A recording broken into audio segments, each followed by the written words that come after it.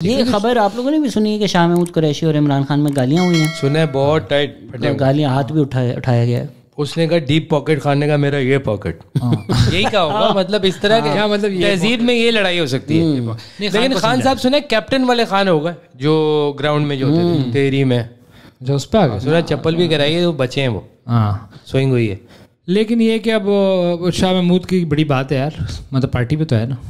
नहीं उनके पास ऑप्शन क्या भी बड़ी बात है यार मतलब क्या कह रहे हो यार ऑप्शन क्या है ज़िंदगी में? तरीन से उसकी लगती है। हाँ। पीपी पीपी वो जा नहीं सकता।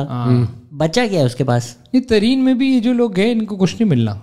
तरीन एक बड़ा सीज़न आदमी है वो देख के देगा वो इमरान खान वाला सीन तो है नहीं कि जो कि- जितना किसी को भी करे। जो जितने हाँ। उठाए उनको तरीन ऐसे नहीं देगा जिस तरह इमरान खान दे रहा था। नहीं देगा बहुत मतलब ऑब्वियसली वो उसका एक सियासी बैकग्राउंड वो बुजदार वाली हरकत नहीं करेगा। शाह महमूद के पास आखिरी ऑप्शन क्या बचेगा? अगर चलो यहाँ से भी कट गया तो। गद्दी?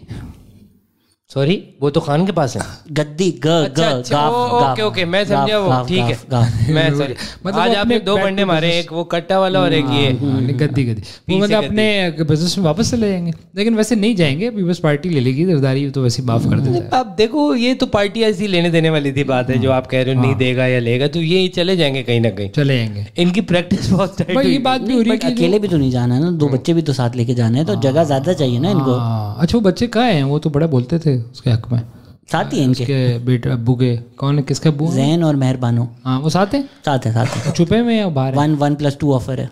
वो कहाँ है यार जो इमरान खान जिनसे माइक छीन रहे होते थे और वो नहीं दे रहा होता था अपनी तकरीर भी बीच में फैसल जावेद खान। हाँ। ओ वो मेरे ख्याल से खबरनाक पे आफ्ताब इकबाल ने डमी इमरान खान की नौकरी दे दी उनको। आफ्ताब की है? वैसे नौकरी? हाँ, उसकी तो चल रही उसकी चल रही वो किधर है? नहीं अरे जहाज़ आजकल आफ्ताब दुबई का भाग कर गया वो फैसल जावेद? हाँ। दुबई में? है?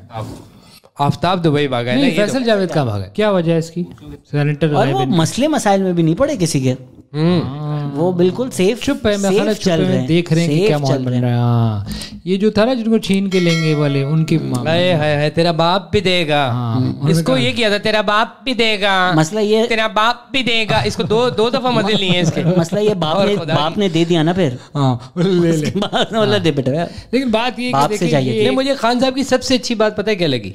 वो बिल्कुल पाकिस्तानी अप्रोच के अपने बच्चे साइड पे कर लो भाई। हाँ पाकिस्तानी बेटा आप लोग जाओ यहाँ फायरिंग हो रही है। हम लोग क्रिकेट खेल रहे हैं। ठीक है। वो अप्रोच वही है वो बनते गोरे माइंडसेट है मगर ये नहीं उन्होंने किसी इंटरव्यू में बोला भी कि यार my kids can't also come to see me आगे से बच्चों ने बयान दे दिया अब देखना हम आना नहीं चाहते। हम तो आना ही नहीं चाहते थे। क्यों आएँगे? क्यों आएँगे भाई? वो तस्वीरें वगैरह लगा रहे नहीं थे इनका जो है ना वो नॉर्मल अबू जो होते हैं ना दुनिया के वो वाला सीन था भी नहीं। हम्म।